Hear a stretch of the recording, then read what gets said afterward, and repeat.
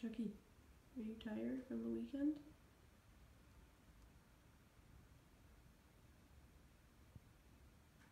Guess so.